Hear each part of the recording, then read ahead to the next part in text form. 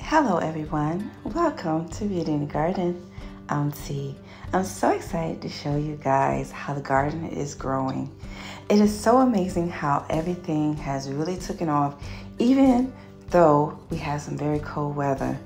With this cold weather, it has knocked some plants back, but some plants are still thriving.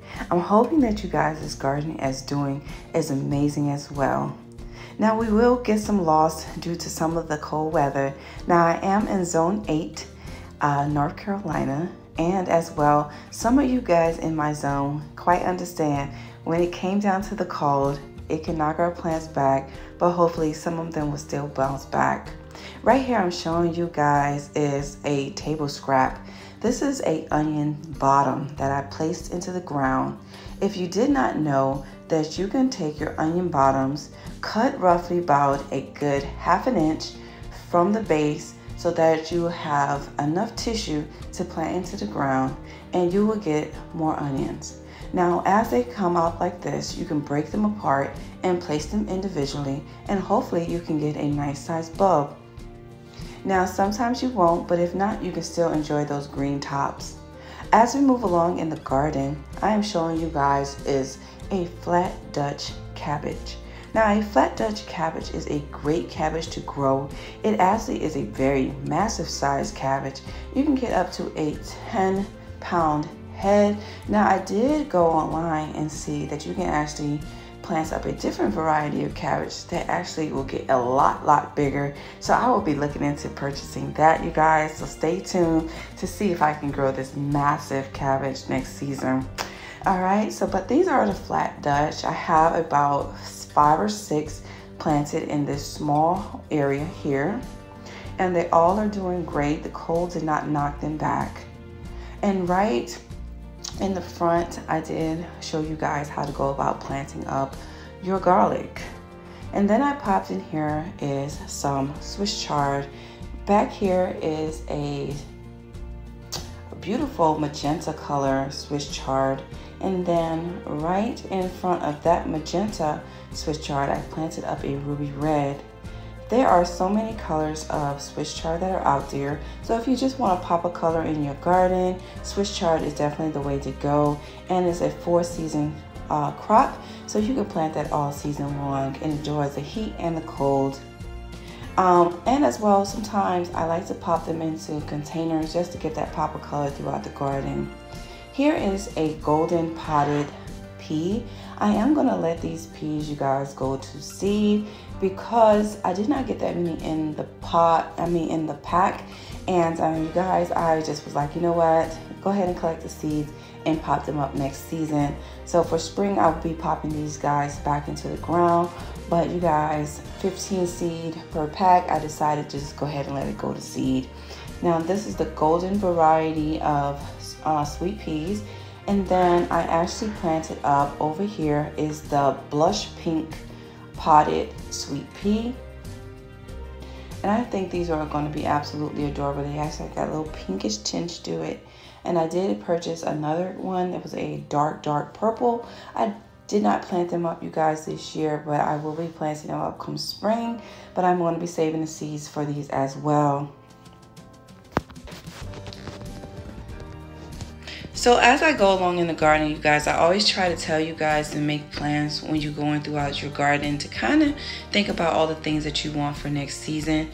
Um, this is the best time, is the downtime, is the winter, uh, fall and winter garden because you will get to know rather not rather you want to do this or that and you have a little bit more time to purchase your seeds, plan out your beds and get your beds ready, uh, especially if you are in a lot colder area where you uh, feel like you want to just go ahead and let your bed beds rest. I would cover those, you guys, with some leaves or some cardboard or some type of tarp, okay? And then I popped in right here, you guys, is a giant, um, Japanese giant uh, mustard um, there. And that's my Thai basil. I'm actually still trying to grow back. Um, but I'm quite sure the cold is going to knock it back. And here is the red vein sorrel. Definitely great in a salad. So if you want something to pop in your salad, this is a great one to do so, okay? And it and it's a perennial, so definitely try to put it in somewhere that you can continually make sure that you can harvest from it all year long. but the garlic is coming up amazing. Now, with all of my plants, you guys, I try to give them a good feeding. Um, definitely when it comes down to our brassicas, especially our leafy greens, we want to make sure that nitrogen is in that soil. So definitely doing a little bit of feeding will work out perfectly and cleaning up under the base of your plants is going to keep out those slugs, snails, and pests that you don't want in your garden or gnawing onto your plants and destroying your crops. So definitely, definitely pay attention to those things. But when it comes down to our greens, we definitely want that nitrogen. I do feed my plants with fish emulsion. It is um, a very mild fertilizer and I do like to come in and feed them when I see any type of yellowing or dulling of the plant and I'll come in and I'll give them a good feeding. Which I do is two tablespoons of fish emulsion to two gallons of water and I think that's just a perfect um, solution uh, for my plants and I've just been doing that for years and years and years and it just has been working out great so if you just want some type of formula or some type of regimen in your garden, I think you should write it down and just figure out what works in your garden. And believe me, your garden will thrive. All right.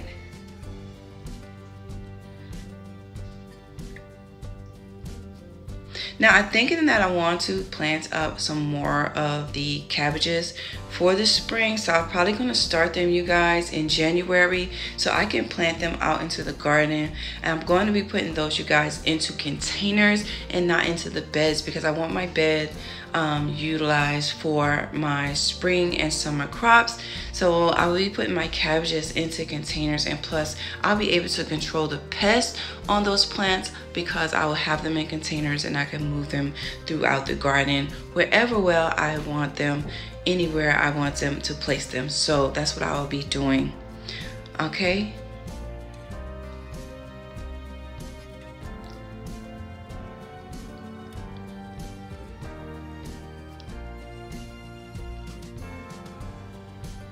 if you're looking for seeds i do have seeds but definitely go on different type of sites and find different varieties i think that's a great way to shop for your new upcoming spring garden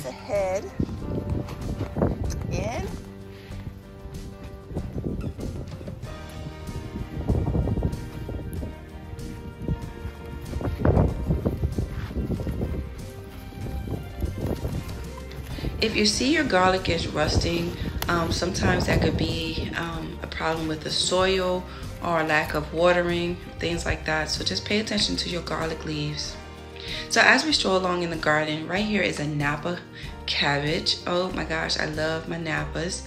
And here is my chives. I'm going to actually divide my chives up come spring and I'm going to place them into um, separate individual containers. And then my salvias are trying to come back. So I'm going to grind up some leaves and cover them so that they won't get burnt. And they definitely will come back beautifully come spring. And I, it's a beautiful pop of color um, right there on my prep table. The mums as well, if you want them to come back nice and full, cut them back and they'll come back every year.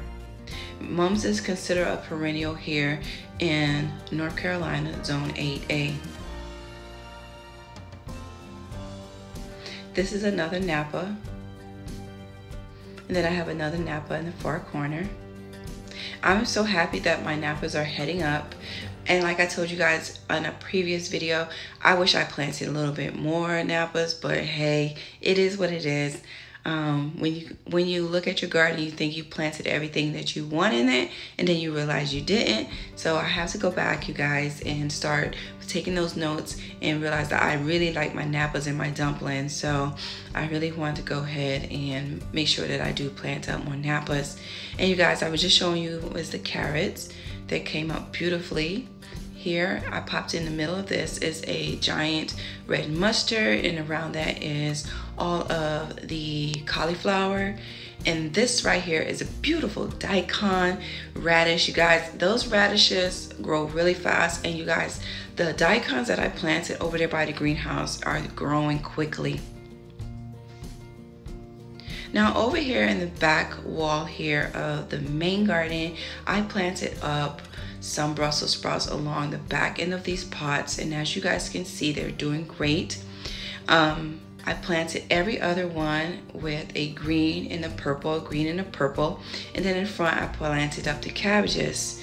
Here's the tatsoi. If you did not like tatsoi, you guys, you got to try it because I love tatsoi. Tatsoi almost tastes like spinach and cabbage mixed together.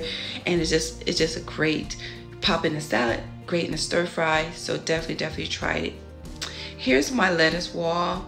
Um, they're doing great. Um, the cold did look a little funny, so I'm hoping they still pan out.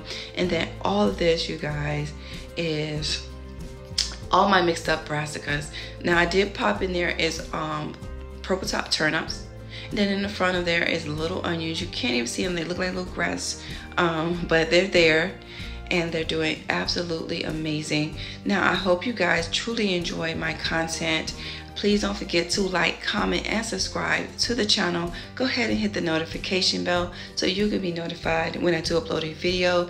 And let's you guys get out into our gardens and grow as much food as we can to provide for our families. And like I always tell you guys, there's beauty in everyone's garden. And bye-bye for now. Bye-bye, you guys.